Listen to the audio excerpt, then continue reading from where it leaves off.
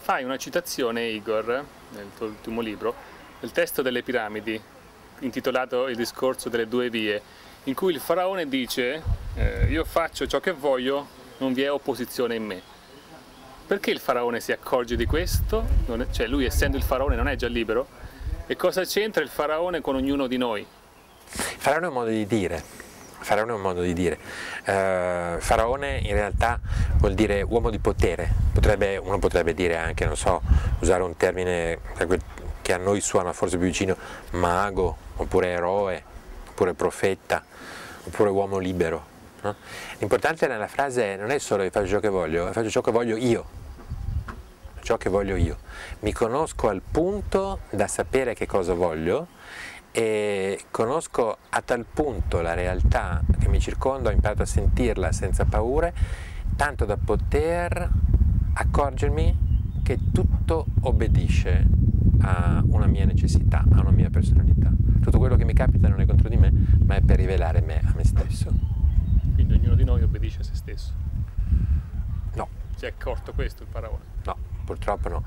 Eh, ognuno di noi, magari, cioè dopo la lunghissima iniziazione eh, egiziana, una persona si accorge che in fondo, tutto sommato, a un certo livello di crescita interiore, una persona si accorge che tutto quello che gli capita corrisponde a una scoperta di sé che sta progredendo.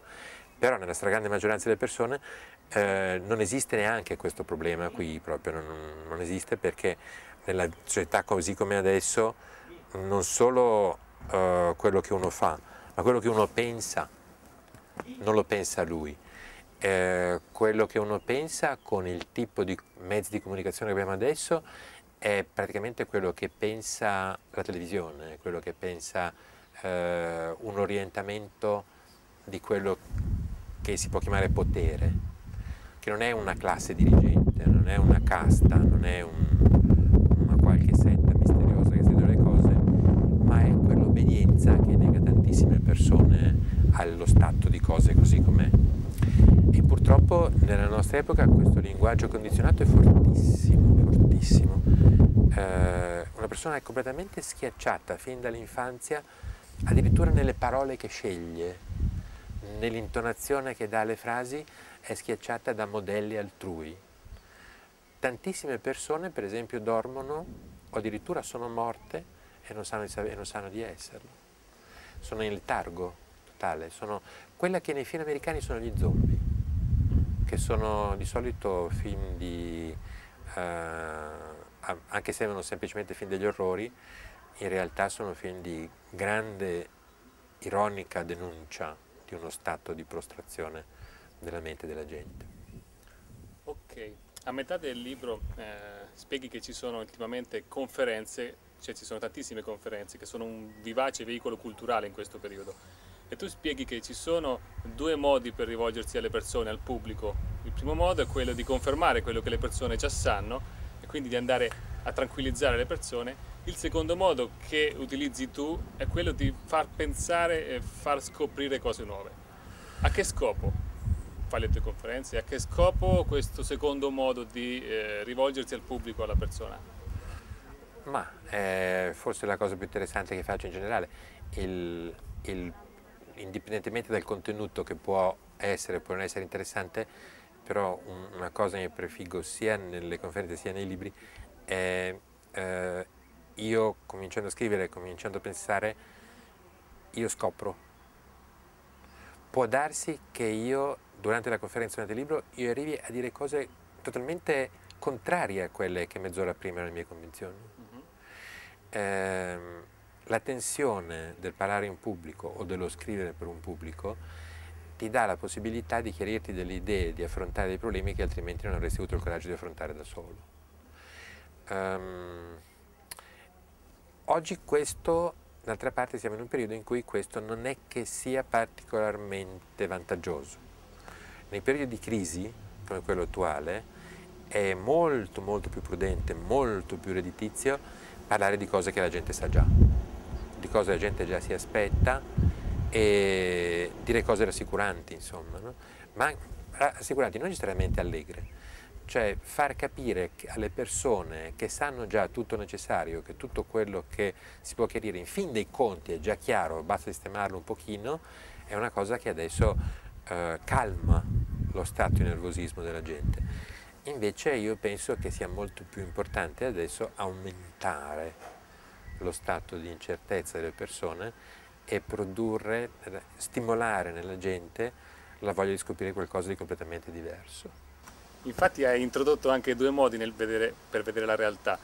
Il modo normale, quello di, di, tutti i giorni, in cui vediamo la realtà in 3D più il tempo unidimensiona, uni, unidimensionale, quindi che segue una linea retta eh, il modo che hai introdotto, che hai introdotto tu è eh, vedere il tempo in 3D, eh, quindi in tre dimensioni. Quale risultato pratico porta vedere il tempo in, questo, in queste dimensioni? Cosa ci facciamo con il tempo 3D? Cosa riusciamo a fare con il tempo 3D? Allora, eh, chissà se uno capisce, perché è un'idea un po' ingombrante questa, cioè è un armadione, un'idea armadio, questo è un armadio di, gli scaffali dentro eh, realtà 3D vuol dire l'universo come siamo abituati a percepire normalmente. Con il tempo che va solo avanti eh, può, il passato può essere solo ricordato, il futuro non si conosce. Eh, questo è il tempo 1D, il tempo lineare. Eh, in realtà sono tutte aree facilmente raggiungibili della nostra coscienza, della nostra mente, in cui uno può trattare il tempo in altre dimensioni, cioè può andare avanti nel futuro, può tornare indietro nel passato, può, può affrontare, eh, può, può, può, muoversi nel tempo allargando un secondo enormemente, può contrarlo, può far passare rapidamente eh, tanto tempo eh, senza, cioè, contraendolo, può plasmare il tempo in un modo diverso. E dal punto di vista strettamente pratico-razionale, eh, per esempio per quello che riguarda il mio lavoro, è interessantissimo, perché se tu puoi correre avanti nel futuro, tu puoi benissimo, suona fantascienza, ma è la cosa più normale che c'è quando uno, è il primo giochino che si impara a fare. Allora, io adesso non so, non conosco l'interpretazione, mettiamo, di questo brano della Bibbia. Non ci si arriva da duemila anni a capire cosa vuol dire. Per capirlo ci metterò 15 anni di studio. Va bene. Allora, siccome io ci voglio in questi 15 anni di fare anche qualcos'altro, adesso vado a vedere cosa saprò tra 15 anni. Do un'occhiatina, poi torno indietro e ricostruisco il modo in cui ci sono arrivato. Così invece di metterci 15 anni ci metto mezza giornata. Eh, sembra una cosa un po' matta questa qui, però è talmente studiata, ma talmente studiata a partire dalla fine degli anni 60, da università, eh, dalle forze armate americane, dai russi non ne parliamo, dai, dai cinesi non so, però dicono che anche i cinesi, dai russi tanto questa cosa, che aspetta solamente, è un fiore che aspetta di essere colto, ma è nel giardino di tutti tutti, tutti possono accorgersi che c'è. Occorre semplicemente dire perché no, posso. imparare quelle due stupidaggini che ti aiutano a farlo. Ah, non c'è il rischio di perdersi in questo infinito? Si entra all'interno di questo tempo in 3D.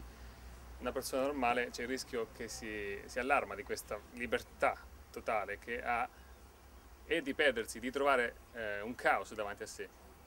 Com'è, com possibile eh, trasformare il caos in ordine? tu nel, alla fine del libro eh, introduci l'albero della vita e quindi mm, potrebbe essere uno strumento l'albero della vita per trasformare il caos infinito in ordine. No, no. Eh, allora, tutto quello che una persona riesce a trasformare in ordine è al di qua okay. di quella dimensione. Quella dimensione è per sua natura liberamente caotica. I primi dei della teogonia greca, -huh. da cui vengono tutti gli altri, il primo è caos, no? e il quarto sono quattro, cioè la, la, questa, questo gruppo di quattro comincia con caos e finisce con eros. No? -huh. eh, il caos non è cattivo, è creativo.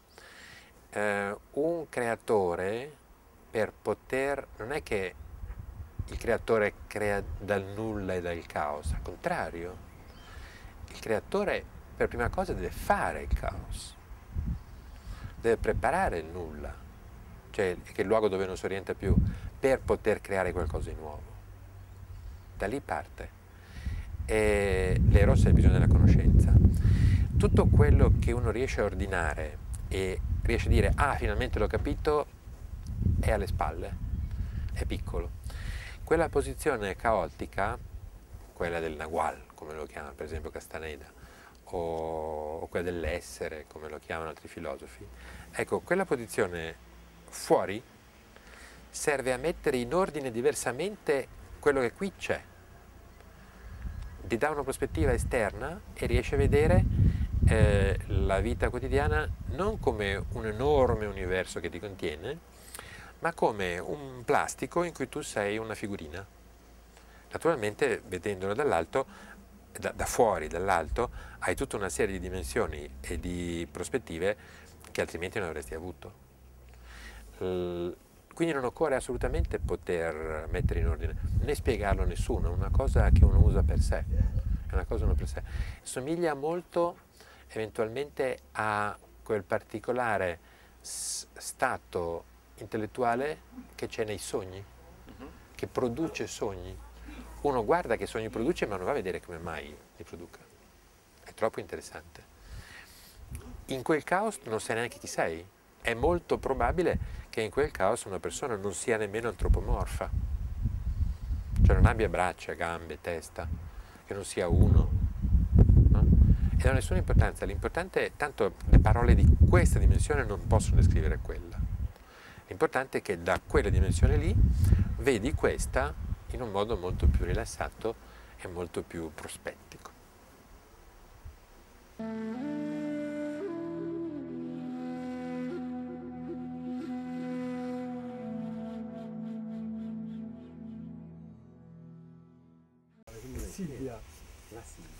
Ecco di errore mettere. Buona la prima.